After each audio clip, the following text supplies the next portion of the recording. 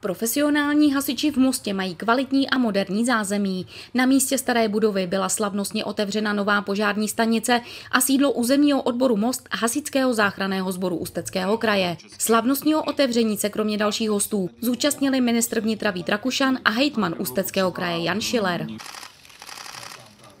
Samozřejmě, že při té jejich těžké práci, kde zachraňují naše životy, naš, náš majetek, je to prostředí alespoň tím, co jim může trochu v té těžké práci ulevit. Původní budova byla uvedena do provozu v roce 1975 jako provizorní objekt na dobu maximálně 20 let. Sloužila ale více než dvojnásobek tohoto času. S demolicí nevyhovujícího objektu a stavbou nového se začalo v roce 2020. Já mám z toho hrozně dobrý pocit, je to hrozně hezký zázemí a já to těm chlapům a, a ženským víceméně od těch asi hasičů strašně moc přeju. Eh, chci, abyste to užívali tak, jak to vypadá, že si budou užívat, že to zázemí budou mít kvalitní, že eh, skutečně jako když budou odpočívat, tak mají důstojný prostředí na to, aby si odpočinuli. Jsem moc rád, že tu stanici mají.